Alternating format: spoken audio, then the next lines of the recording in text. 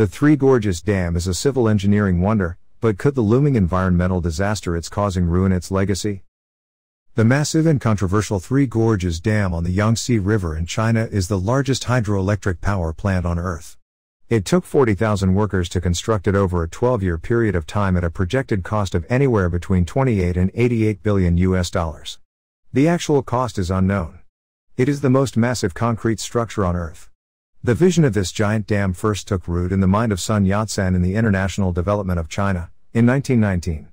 However, the dam's actual construction did not begin until 1994 when it was passed by the National People's Congress. The Chinese people and government are extremely proud of the dam's success so far and consider it to be a masterpiece of Chinese engineering. It's a beacon of renewable energy and has replaced the burning of 30 million tons of coal each year. The dam is made of a massive amount of concrete and steel.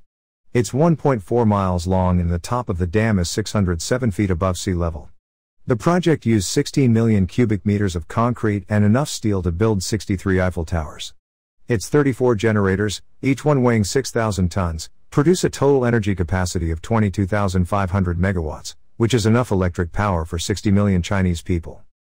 The Three Gorges Dam also has ship lifts and locks to accommodate the large number of shipping vessels that flow down the Yangtze River. Regular cargo passes through the locks, while passenger ships pass through the ship lifts, which only takes a total of 36 minutes to traverse. Here's what a ship lift looks like to pass through. But the dam has not been short of critics. The construction of the dam displaced 1.3 million people and destroyed many historical excavation areas. 100 workers were killed during the building of it. But the huge toll appears to be on the environment, which is beginning to show signs of vulnerability. The truth is, no one knows what kind of long term impact such a gigantic dam will have on the environment.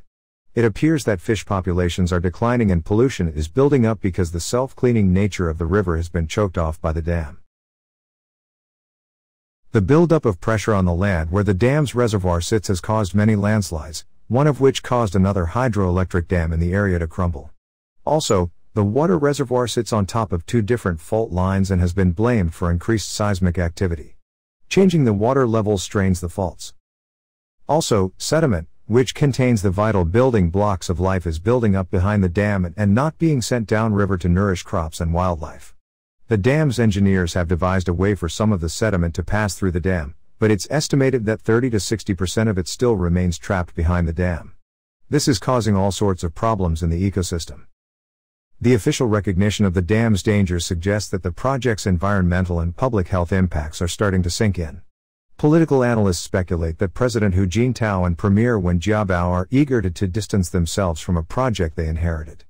Although halting plans at this point would be an admission of government error, the openness following the Chongqing meeting raised the hopes of worried scientists that officials would take action to minimize the project's environmental and public health fallout. Scientific American. Perhaps the most devastating risk lies in the possibility of the dam failing at some point due to seismic activity or some other weakening in the dam itself. Such a flood would be on a scale that has never been recorded.